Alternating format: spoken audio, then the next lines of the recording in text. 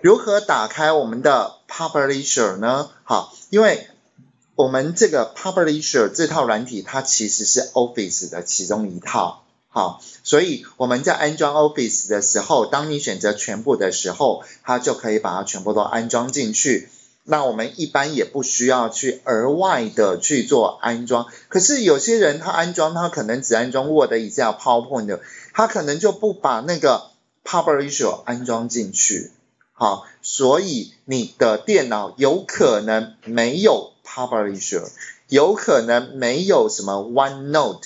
有可能没有 Outlook，有可能哦，好，所以这点是要请各位稍微注意一下。那我还是要强调一下，Publisher 跟二零二零一六和二零一三大同小异，没有很大的差别，而且很简单，保证你会觉得很简单。这套软体，首先我们第一件事是不是点开始按钮？第二件事情我们就直接点 Publisher。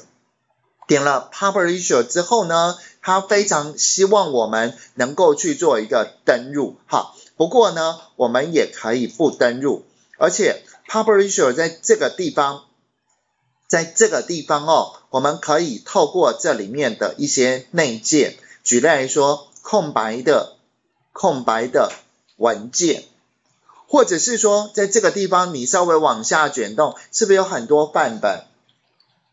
其实从二零一三版就已经改成这个样子了，只是我们等一下当是从头开始讲。可是呢，当我们今天假设要去做 publisher，它可以做什么？publisher 可以做谢卡，publisher 它可对不起，应该说 publisher 可以做卡片，它可以做邀请函，它可以去做证书，它可以去做备忘。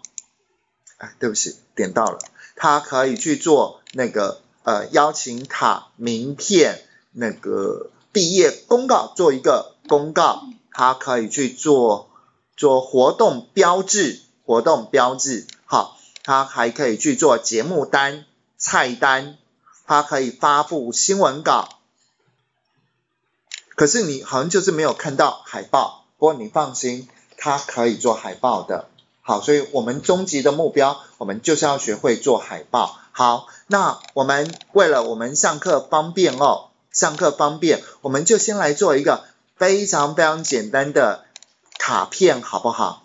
卡片就是我们先做范例，先以成果导向，所以点选这个感谢，然后接下来呢，在这个地方是不是做一个毕业卡片？卡片为什么会？呈现这个样子，好，等一下再跟各位讲好了。反正我们就先点选建立，这样子的话，我们是不是就变成出现了这样子一个内容？因为我等一下要大概让你们知道一下这个内容，其实它跟 Word 大同小异。